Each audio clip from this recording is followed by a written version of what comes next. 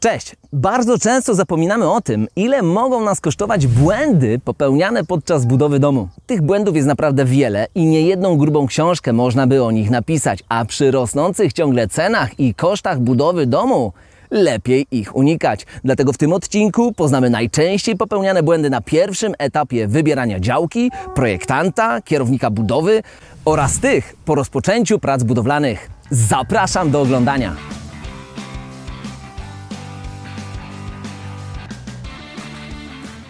Błędy popełniać na budowie będziemy praktycznie zawsze, dlatego dobrze jest uczyć się na czyichś błędach, oglądać filmy poradnikowe w internecie, czytać wartościowe artykuły, bo jest to dużo lżejsze dla naszego portfela.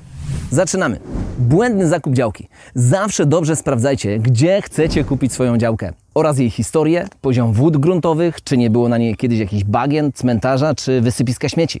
Sprawdźcie też, czy na danej działce będzie możliwość doprowadzenia mediów, wody, prądu, gazu, kanalizy. Teoretycznie można sobie z tym poradzić, ale trzeba być do tego przygotowanym finansowo. Geoportal pomoże Wam w szybkim sprawdzeniu, jakie media otaczają Waszą działkę. Poza jej lokalizacją i ceną gruntu, sprawdźcie miejscowy plan zagospodarowania przestrzennego. Są to akty prawa miejscowego uchwalone przez Radę Gminy lub Miasta żeby nie okazało się, że wybudujecie sobie dom tam, gdzie za chwilę powstanie jakaś ferma byków, oczyszczalnia ścieków, obwodnica czy hałaśliwa autostrada.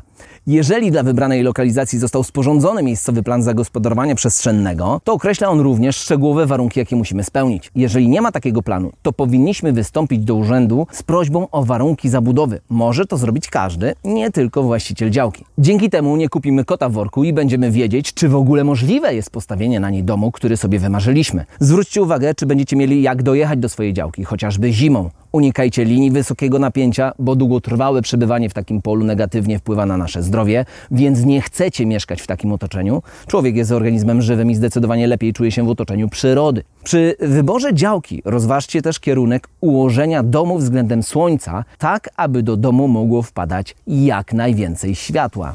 Kupno gotowego projektu bez wcześniejszej analizy miejscowego planu zagospodarowania przestrzennego. Jeżeli kupicie gotowy projekt, bo taki Wam się podoba, bo jest tanie i taki chcecie mieć, a nie sprawdzicie wcześniej miejscowego planu zagospodarowania przestrzennego lub decyzji o warunkach zabudowy, to może się okazać, że nie będziecie mogli postawić na Waszej działce takiego domu jak chcecie. Możecie wejść na Geoportal i tam sprawdzić, czy jest na nim miejscowy plan zagospodarowania przestrzennego dla Waszej lokalizacji. Jeżeli jest, to łatwo przeniesie Was do uchwały dotyczącej danego terenu i lepiej zapoznać się z nią, bo Rada Gminy lub Miasta potrafi określić takie szczegółowe parametry dla nowo powstającej zabudowy, jak linie zabudowy, gabaryty obiektów, maksymalną wysokość zabudowy, kąt nachylenia dachu, szerokość elewacji frontowej, wysokość okapu i kalenicy dachu, czy kolorystykę wykończenia. Dlatego przed zakupem gotowego projektu warto sprawdzić, czy spełnia on określone warunki, bo każde zmiany w gotowym projekcie są dodatkowo płatne i może się okazać, że wyjdzie nas to drożej niż za projekt indywidualny. A nie warto oszczędzać na projekcie, bo przemyślany i dobrze zaprojektowany dom to również oszczędność czasu i pieniędzy. Dobry projektant doradzi nam w odpowiednim rozmieszczeniu okien i domu na działce względem słońca czy dachu, jeżeli planujemy panele słoneczne. Podpowie, że dom z dachem dwuspadzistym jest tańszy, podpowie w kwestii balkonów czy chociażby wiatrołapu, który zimą naprawdę się przydaje. Doradzi w temacie wielkości pomieszczeń, bo praktycznie każdy po kilku latach stwierdza, że dom, który sobie wybudował, jest zdecydowanie za duży. W temacie projektowania domu jest tak wiele czynników, na które warto zwrócić uwagę, że pieniądze wydane na dobrego projektanta zawsze się zwrócą. Zły wybór wykonawcy to koszt i dodatkowe wydatki. Unikajcie pseudofachowców. Dobrego wykonawcę należy szukać co najmniej pół roku wcześniej, bo nie narzeka on na brak zleceń i jego grafik jest zazwyczaj pełny nawet na rok do przodu. Na kanale znajdziecie już jeden film o wykonawcach. Brak umowy z wykonawcą lub jej nieprawidłowe sformułowanie może nas sporo kosztować. Na budowie można popełnić tak wiele błędów wykonawczych, że naprawdę warto mieć podpisaną dobrą umowę z wykonawcą, która zawiera szczegółowy kosztorys i zakres prac, harmonogram ukończenia poszczególnych etapów oraz harmonogram rozliczeń za wykonaną pracę. Im więcej punktów dotyczących zakresu i terminów prac zawrzemy w umowie, tym łatwiej będziemy mogli kontrolować i egzekwować od wykonawcy poprawność i postęp prac. Umowa ma ułatwić życie nam oraz wykonawcy, tak żeby wszystko było jasno określone. Osobiście miałem taki przypadek, że wykonawca przy rozliczeniu próbował zawyżyć kwotę o 30%, prawie o 30%. Uratowało mnie to, że na pierwszym spotkaniu na zwykłej kartce papieru napisał ceny za metr za swoje usługi. Jakaż była jego wymowna mina, kiedy zobaczył własnoręcznie zapisaną kartkę z jego cenami. Piszcie umowę. Kiepski kierownik budowy. Tak jak projektant, tak dobry kierownik budowy się zwróci. Musi on posiadać wiedzę w zakresie technologii budowlanej oraz prawa budowlanego, bo przejmując od nas, czyli od inwestora, teren budowy, zajmuje się organizacją i nadzorem prac na budowie. Prowadzi dziennik budowy i pilnuje, aby do budowy domu wykorzystywane były materiały posiadające odpowiednie certyfikaty. Możecie też rozważyć zatrudnienie inspektora nadzoru, który w Waszym imieniu będzie kontrolować poprawność wykonywania prac na budowie.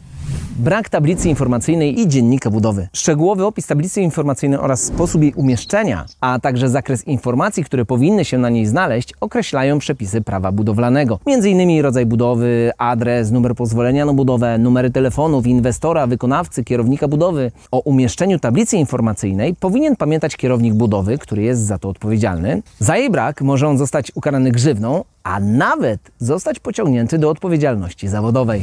Brak zgłoszenia prac. Pozwolenie na budowę nie jest dokumentem pozwalającym na rozpoczęcie prac budowlanych. Zgodnie z prawem budowlanym zamiar ten należy zgłosić pisemnie w Powiatowym Inspektoracie Budowlanym najpóźniej 7 dni przed rozpoczęciem prac. Niewłaściwie prowadzony dziennik budowy. Kierownik budowy ma obowiązek systematycznie i czytelnie prowadzić nasz dziennik budowy, który jest dokumentem wymaganym prawem. Powinien odnotować w nim przebieg istotnych prac na budowie. Ważne, abyśmy mieli w nim wszystkie zgody kierownika i projektanta na ewentualne zmiany materiałów budowlanych czy zmian konstrukcyjnych budynku. Jako inwestorzy mamy prawo do umieszczania wpisów w dzienniku budowy, a jego prawidłowe prowadzenie ma znaczenie, gdy na naszej budowie pojawi się kontrola uprawnionych organów państwowych albo w przypadku wadliwie wykonanych prac budowlanych.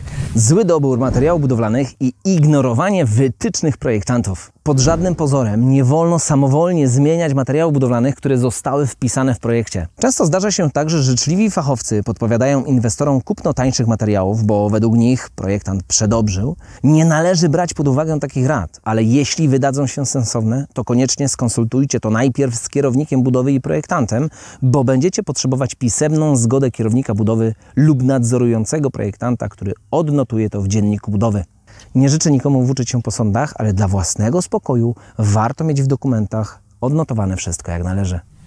Dom w złym miejscu.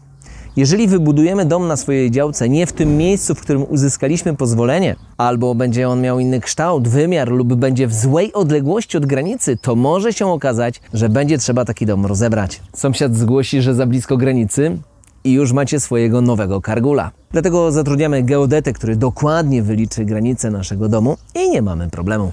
Źle wybrani fachowcy. To, że fachowiec dobrze wymurował nam mury, wcale nie znaczy, że równie dobrze zatrze tynk na elewacji czy położy płytki w łazience. Mówi się, że jak ktoś jest od wszystkiego, to jest do niczego, dlatego fachowców warto wybierać zgodnie ze specjalizacją. Niektóre firmy zajmujące się budową domów pod klucz mają pracowników podzielonych na ekipy, z których każda specjalizuje się w czymś innym. Warto również rozważyć zatrudnienie firmy wykonawczej, która byłaby tak zwanym inwestorem zastępczym i działając w naszym imieniu zatrudniałaby odpowiednich fachowców. Chociaż częściej zdarza się, że taka firma podpisuje umowy z podwykonawcami. Takie rozwiązanie bywa droższe niż gdybyśmy sami organizowali fachowców, ale korzystając z niego łatwiej unikniemy dłuższych przestojów na budowie. Prace niezgodne z przepisami.